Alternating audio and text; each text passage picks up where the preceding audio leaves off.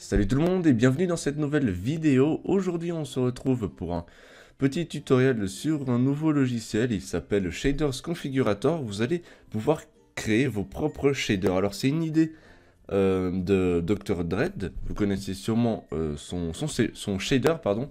Il a décidé donc de créer un logiciel qui permet de modifier les shaders suite aux, nombreuses demandes qu'il a reçues de la part de sa communauté. Euh, et, voilà, alors sur ce logiciel, il n'y a pas que les shaders de euh, Dr. Dread qui fonctionnent, il y a également le Chocapic, le Sildur et le SEUS, le ZOS. Et, euh, et voilà, alors, en gros, l'interface du logiciel. Si on appuie sur Help, ça vous allez sur une sorte de wiki, en gros, pour vous permettre donc de vous... Ça vous aide pour, pour créer votre shader tout simplement. Euh, save, bon, vous enregistrez votre shader et import, vous allez importer un shader. Le shader doit être en .zip ou .rar. Ça c'est très important. Une fois que vous l'avez importé, vous avez tout, tout ceci. Pardon. Moi j'ai utilisé le Dr. Drit Shader. Voilà, c'est un logiciel qui a été fait par lui. Donc pour la vidéo, je vais faire avec son, son shader. Et on va commencer tout de suite. Alors la Water Reflection, ça va tout simplement vous permettre d'avoir de, l'eau plus, plus belle. Euh, voilà, tout simplement. Ensuite, le Hand Light. Euh, ça vous permet de faire de la lumière lorsque vous avez une torche à la main. Euh, si vous connaissez le comment il s'appelle le mode euh, Dynamic Light, il me semble, lorsqu'on a une a une torche dans la main, ça va éclairer autour de nous. Quand on la jette par terre, ça va éclairer. Donc en fait, ça va vous donner l'éclairage, voilà. ensuite, on a Cell. Ça vous donne un petit aspect cartoon à Minecraft. Ça, ça peut être assez drôle à voir. Après, c'est à vous donc de, de gérer les choses. Vous, n'allez pas vraiment modifier l'intérieur des shaders. Vous allez surtout ajouter, enlever des propriétés du shader pour qu'il vous plaise, tout simplement. En gros, vous allez le créer, voilà. Sans vraiment, sans toucher au code, voilà. Euh, le bloom, ça rajoute un effet de brouillard qui donne euh, un effet de lumière. Euh, voilà, qui donne un effet de lumière qui est plutôt stylé en tout cas. Moi, je l'ai testé et je l'aime bien, voilà. Ensuite, on a DOF. Je suis pas en train de faire à travers la à travers le shader configurator, je suis surtout, euh, je suis en train je me suis inspiré de Minecraft.fr et j'ai écrit sur un petit bloc-notes et puis j'essaye en fait de de, de, dire en fait euh, ce que, ça fait. Alors le DOF, euh, ça, lorsqu'il est activé, ça ajoute, voilà je vais le lire, ajoute comme pour les caméras les distances de focale, c'est très utile pour faire de beaux screens. D'accord, donc je peux pas vous le dire autrement. Voilà à vous de, à vous de savoir. Alors, euh, maintenant, ça va être euh, vignette, vignette. Ça vous permet d'ajouter des bordures dans les coins de votre écran. Ça peut être marrant. Ça peut être assez, assez beau. Après, il faut évidemment que les bordures soient, soient, soient bien faites.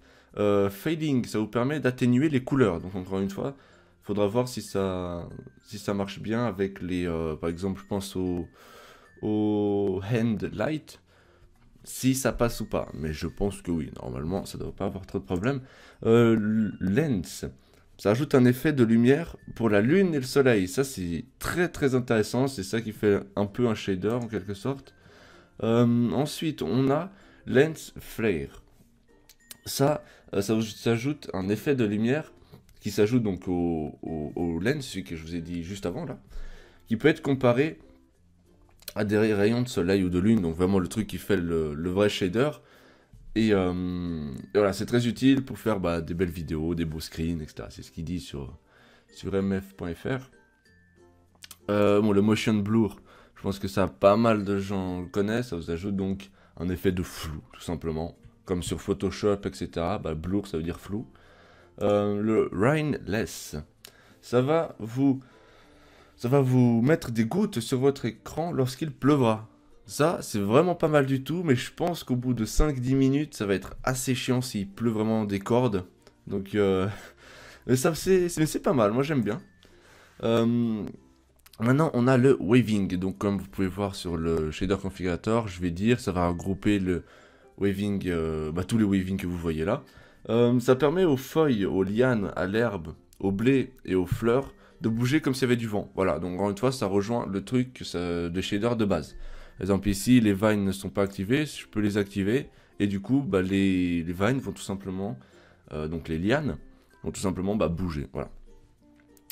Et, euh, et, voilà, donc on a fait le tour de, ça, de, des petites configurations. Donc ensuite, vous, ce que vous faites, c'est que vous allez donc mettre ce que vous voulez. Vous avez un petit aperçu là pour le motion blur.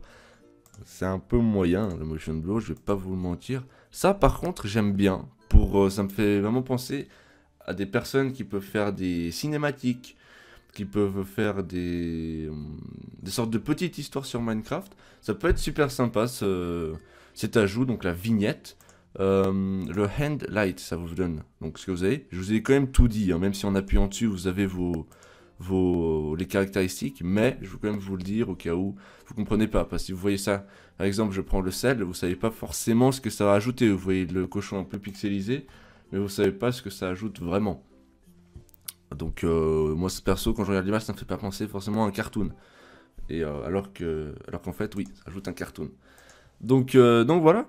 Euh, on a fait le tour de ce mode. Ce qu'il faut faire en fait après, c'est faire save. Vous allez l'enregistrer.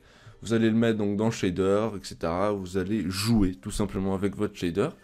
Euh, si vous avez créé des shaders, euh, envoyez-moi sur Twitter donc des images de vos shaders. Ça peut être assez intéressant. Je vous répondrai, je vous retweeterai, etc. donc voilà. J'espère que cette petite vidéo vous aura plu. Vous pouvez retrouver le lien de la description, le lien du logiciel dans la description. Je me suis un petit peu embrouillé.